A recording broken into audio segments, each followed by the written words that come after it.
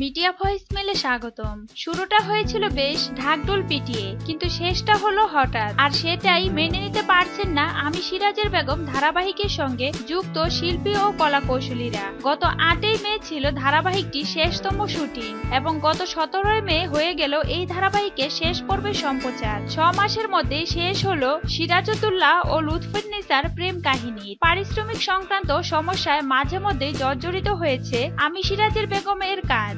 অনেক শিল্পী ও কলা কৌশলীর বেশ কয়েক মাসের বেতন বকেয়া। নতুন প্রযোজনা সংস্থা দায়িত্ব নিলেও শেষ রক্ষা হলো না। এই ধারাবাহিকে ঘষটি বেগমের চরিত্রে অভিনয় করেছেন চায়ন্টিনী ঘোষ। তার পারিশ্রমিক বকেয়া না থাকলেও ধারাবাহিকটি বন্ধ হয়ে যাওয়ায় হতাশ তিনিও। সংবাদ মাধ্যমকে চায়ন্টিনী জানালেন, দারুণভাবে শুরু হয়েছিল ধারাবাহিকটি। হঠাৎ শেষ হয়ে যাওয়াতে খারাপ লাগছে, কিন্তু মেনে নেওয়া ছাড়া কিছুই করার নেই। বললেন তিনি, আমি সিরাজের বেগমের সিরাজের চরিত্রে অভিনয় করেছেন শন বন্দ্যোপাধ্যায়। পারিশ্রমিক বকেয়া নেই তারও, কিন্তু হতাশা লুকাতে পারছেন না। সংবাদ মাধ্যমকে জানালেন, এই ধারাবাহিকে কাজ করে অনেক কিছু শিখেছেন। হঠাৎই বন্ধ হয়ে যাওয়াটা সত্যি দুঃখজনক। তবে বাংলা ইন্ডাস্ট্রি ছোট, তাই সহযোগী শিল্পীদের সঙ্গে অন্য কোনো ধারাবাহিকের কাজে দেখা হয়েই যাবে, বললেন শন ঠিক কি কারণে বন্ধ করে দেওয়া হলো আমি সিরাজের বেগম? ধারাবাহিক বন্ধ হয়ে যাওয়ার সঠিক কারণ নিয়ে সংবাদ মাধ্যমের কাছে কেউ কোনো মন্তব্য করতে চাইছেন না ঠিকই, তবে বলা যায় যে টিআরপি রেটিং এর জন্য বন্ধ হয়নি।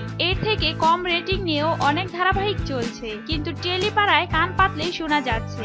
বকেয়া অর্থের পরিমাণ জমতে জমতে বিশাল অঙ্কের টাকায় দাঁড়িয়েছে। তার সঠিক হিসেবে নাকি পাওয়া যাচ্ছে না। শোনা যাচ্ছে অনেক অভিনেতাদের বকেয়া নিয়েও কোনো সমস্যা না হলেও টেকনিশিয়ান ও অন্যান্য বিভাগের কর্মীদের প্রায়ই সবারই পারিশ্রমিক বাকি। আগের প্রযোজক ও তার সংস্থার কর্মীরা সবাই ব্যাপারটা সে বকেয়া টাকা এখন এতটাই বিশাল অঙ্কে দাঁড়িয়েছে যে নতুন প্রযোজনা সংস্থা তার দায়িত্ব নিতে চাইছেন না।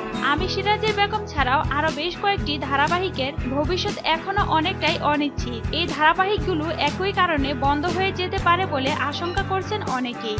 নাম প্রকাশে অনিচ্ছুক। এই ধারাবাহিকের সঙ্গে যুক্ত ছিলেন এমন এক ব্যক্তি মর্মাহত হয়ে জানালেন, সিরাজের বেগম এত সুন্দর করে শুরু হয়েছিল, সবকিছুতেই একটা দারুণ ব্যাপার ছিল। এমনকি অন্যান্য ধারাবাহিকের থেকে সিনেমাটোগ্রাফিক দিক থেকেও বেশ যত্ন নেওয়া হতো। সবেমাত্র ফ্যামিলির কাহিনী ছেড়ে রাজনৈতিক কাহিনীর দিকে এগুচ্ছিল ধারাবাহিকটি। এখন পর্যন্ত কাহিনীর এক তৃতীয়াংশ দেখানো হয়নি। বিপুল আশা ও উত্তেজনা তৈরি করে হঠাৎ করে সিরিয়াল বন্ধ হয়ে যাওয়াটা দর্শকের সঙ্গে এক রকমের প্রতারণা বই কি আশা করি অচিরেই অডিও ভিউচাল কর্মীদের পারিশ্রমিক নিয়ে এই কালচার বন্ধ হবে। সবাই নিয়মিত পারিশ্রমিক পাবেন এবং কোনো ধারাবাহিক শুধু এই কারণেই এরকম ভাবে হঠাৎ বন্ধ করে দেওয়া হবে না।